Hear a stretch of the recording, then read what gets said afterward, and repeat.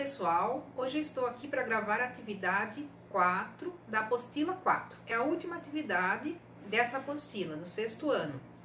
A atividade 4 é para vocês desenharem uma lenda do nosso folclore e para desenhar os três elementos que formam a base do nosso folclore.